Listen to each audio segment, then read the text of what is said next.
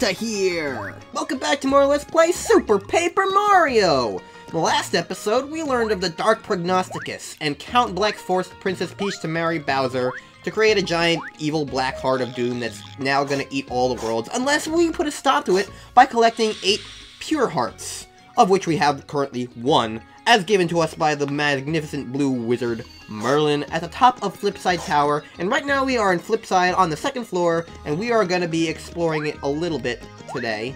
Well, not a whole lot, because there's not really a whole lot for us to do at the moment. I mean, there's guys but we can talk to, but they don't really do anything. This town's so peaceful, if you ask me, that's all you can really ask out of life. Yep, that's pretty much that. No, you're gonna give me a I know what a save block does. Here, I'll show you. Hit this block to save your progress. I played Paper Mario before. I know how a save block works. This takes us back up to the tower.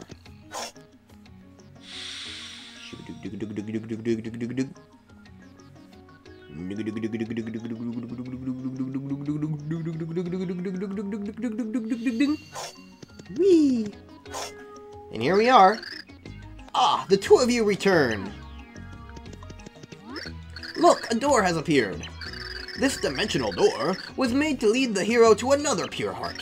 Yes, somewhere beyond this door lies one of the seven other pure hearts. Tippy, you must use your power to help Mario find this pure heart and return here.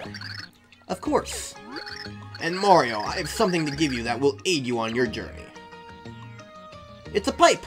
A candy cane pipe. You got a return pipe, a magic pipe that returns you to Flipside from afar. With this, you will be able to return to Flipside from anywhere in the universe. Use it whenever you feel you must return in a hurry. Alright. The Light Prognosticus foretells that the hero will meet a Dimension Governor. And from him, the hero will learn the Dimensional Technique. I am almost certain this refers to my friend, the Flip Wizard, Bestovius. So go now through this door and seek out Bestovius! Well, let's get going. Alright, we have our quest, we have our adventure, and we have our first destination. Red Door. But first, a cutscene. Bleck! The void has been ripped in the dimensional fabric. Sorry about that. Yes, Count Bleck is pleased. All is gone as foretold in the Dark Prognosticus. Now it's just a matter of time until all worlds meet their demise. Bleck! Wow, that's the super count? Yeah, first you'll erase all these naughty worlds. Then you're gonna build a perfect world without war and all that other icky stuff. Yes, yes, no one likes the icky stuff. Yes, a perfect world. Sounds magical. I can hardly stand the wait. Sorry I'm late!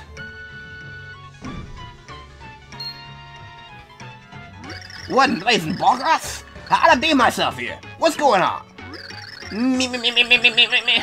Oh, oh, Chunks, you big silly. Did you oversleep or something?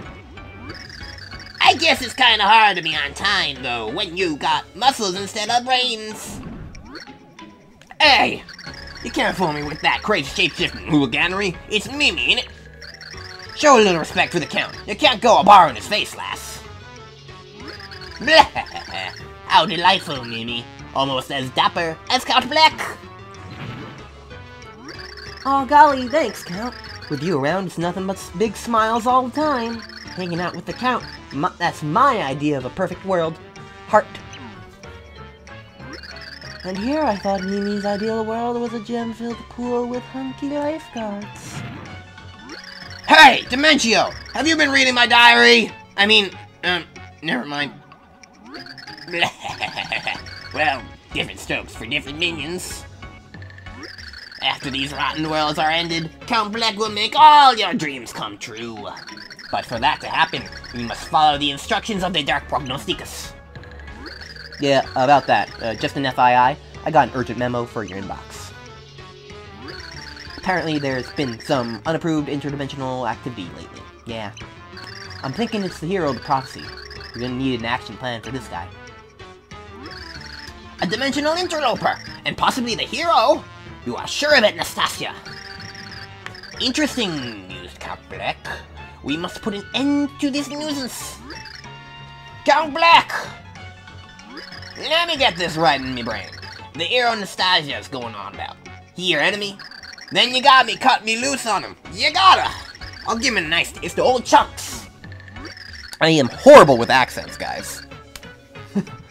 Very well, O'Chunks. I'll leave the hero chunking to you. Do not fail, Count Bleck. You can count on me, Count. I'll rain down like a fat thunderstorm, I swear.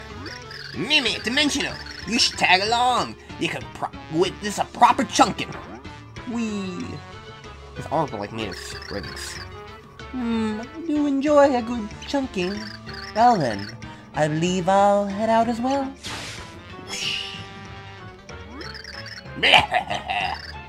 so, hero, you would defy Count Bleck?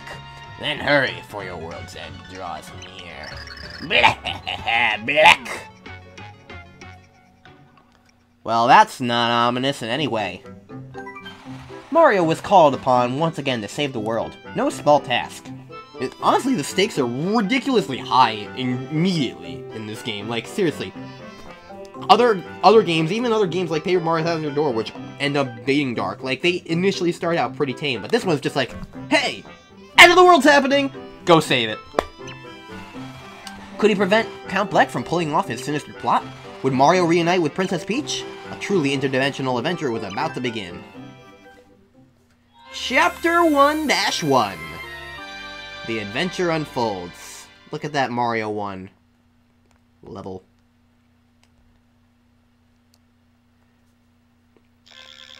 Oh, I love this effect. Whoosh. Line art. And the color. And here comes some flowers, and their door.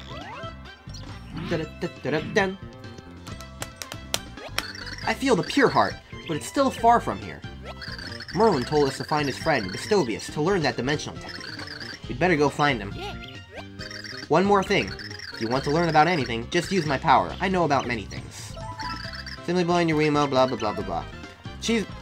So, basically, Tippy here is our tattle thing. So, uh, if we show... Point yourself and I will give you advice on what you need to do next. We need to learn how to flip. That's basically how it works. I never use it because I don't care. Anyways, in case you didn't notice, this game is a platformer, unlike other Mario RP- other Paper Mario games, which are RPGs. And honestly, I I like that about this more, because I'm honestly not the biggest fan of most RPGs, really. Like, Mario and Luigi and the Paper Mario series are really the only RPGs I... Other than Earthbound and Pokemon, I guess, but... Yeah, I've never been too into RPGs that much. So I do enjoy, and I enjoy platformers so much, so it's like... I don't know, I immediately fell in love with this game. And we got a Shroom Shake. A healthy drink. Restores 10 HP. That's basically the mushroom of this game. The, and the actual mushrooms in this game are overworld objects that you can't use in... You can't, like, have as an inventory. Anyways, this is a squig, I think. I don't know the real... I don't really know the enemy games, enemy names that well in this game. We got a horse tail did something about poison. Anyways, in here... Is like one of the few times you ever actually need to use Tippy for anything. Something's weird. This is not an empty house. There's something in this room. I can feel it. I can help you find hidden things. Why don't you use my power to look around? And you point at the Wiimote, and there's a door. There's a hidden door here. Let me make it visible for you. It's a door. Let's go inside. Well, you don't say. This looks pretty door-like to me.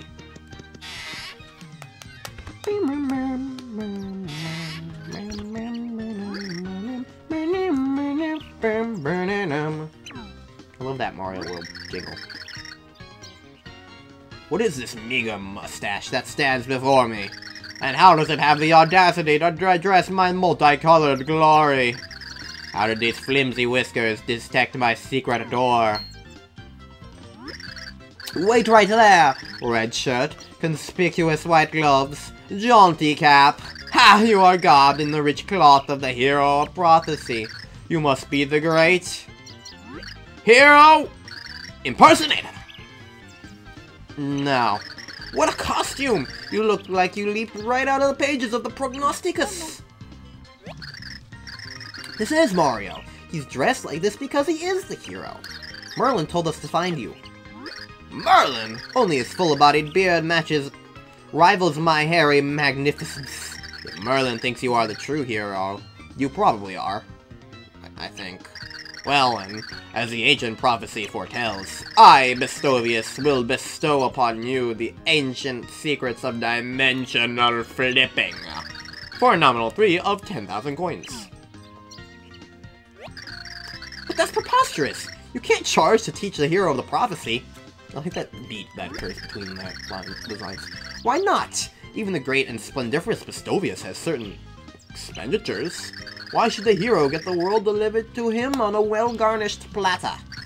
These heroes think they can get away with shaking people down for free skills, running into people's houses and breaking all their pots. A mere 10,000 coins should be nothing for a hero of the universe. What do you say? Sure. Fantabulous! Wait a moment. You, you lack 10,000 coins? I should have expected a, such cheap scannery from a hero with a scrimpish mustache. Uh, I know you are determined to cheat me out of my due tribute. I will settle for just taking all of the coins in your pocket. Ah, no. That's too much for me. Still you refuse? So be it. Though it makes me ill, I will waive the nominal fee and teach you for free. Do you agree to this? Sure. Scintillating! Let us begin. He was easy to convince. Flimmity, flimmity, flammity, flume, diggity, daggity, doom, zippity, zappity, zoom, shaboom! Flip Flipow! You didn't teach anything, you just spouted nonsense at us. I, Bestovius, have granted you the ability to flip between dimensions. Press A to slip between the very fabric of space, and flip between 2D and 3D. Well, what do you think? Mind-blowing, isn't it? What is this A I speak of? I assure you that if we are being watched from another dimension, those beings will understand, but you lack the mustache for full comprehension. Just remember that you can use this ability to find hidden items and secret paths. But beware, use your new ability too long and you will lose HP. Let's try it out.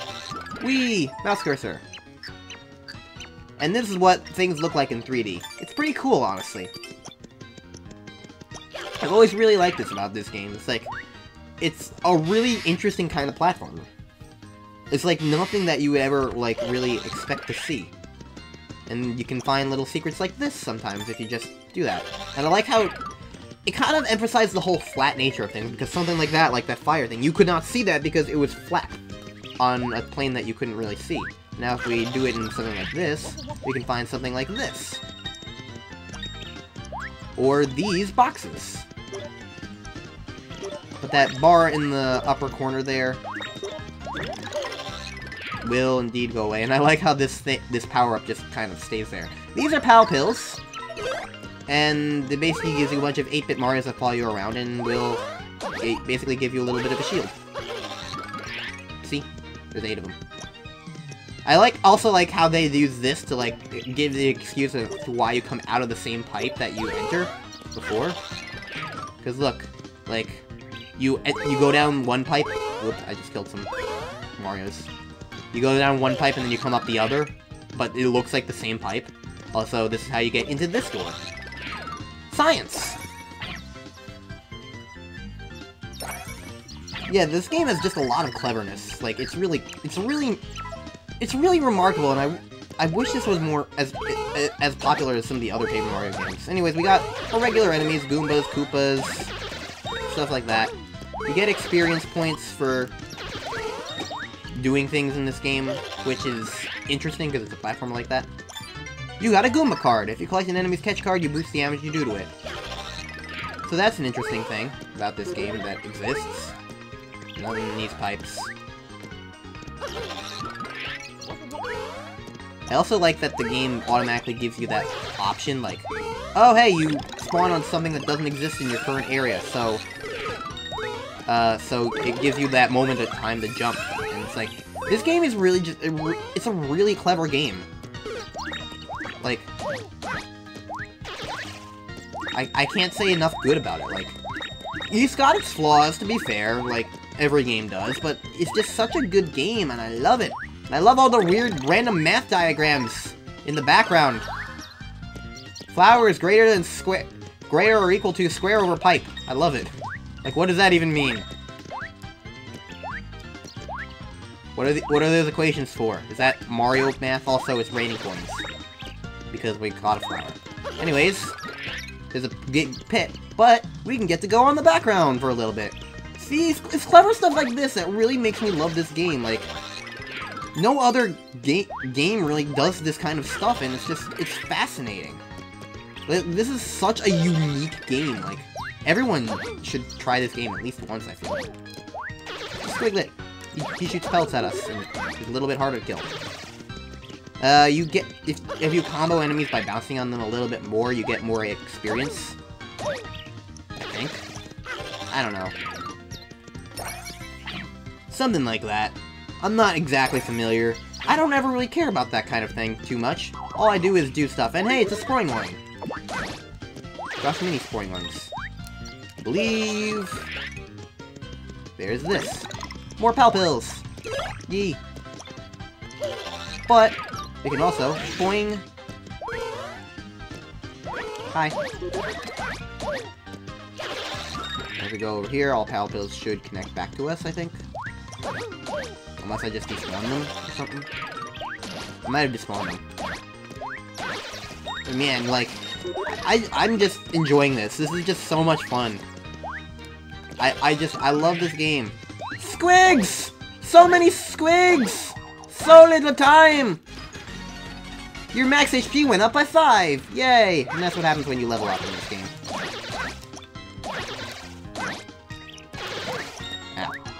That's the first time I've taken damage. That's good me.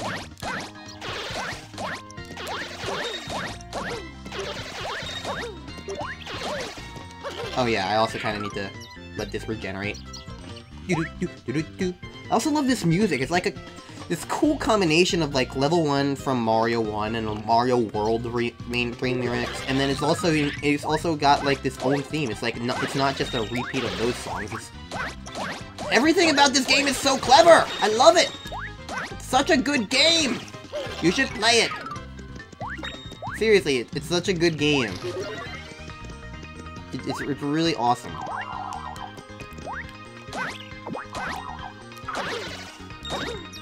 Die!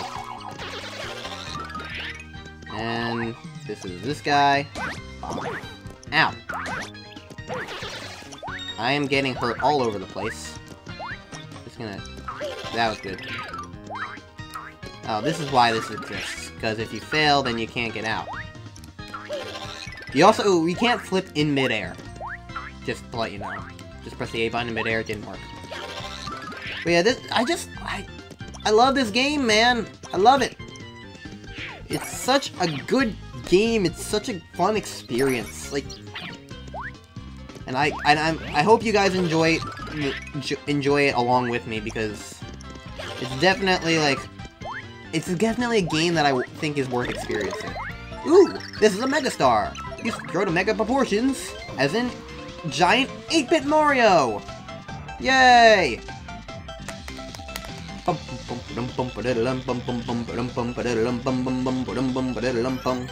Let's wreck everything! Yay! Level up! I can understand how a game like this might be a bit off-putting for those who enjoyed Paper Mario 1 and 2. Like, since it's not an RPG, it's so vastly different. I know my sister didn't like it for that reason. But, I feel like that's kind of unfair to this game. I knew there was some secret back here. I feel like this game just is so under underappreciated that way. Just because it, it's different from its predecessors doesn't make it a bad game. It's a really good game. And I got a approval card. Either way, that giant block that I ignored before, that's the end of the chapter. So, in one episode, we're already done. So, next time on Let's Play Paper Mario, Super Paper Mario, Paper Mario 3, whatever you want to call it, we're going to start Chapter 1-2. End of chapter!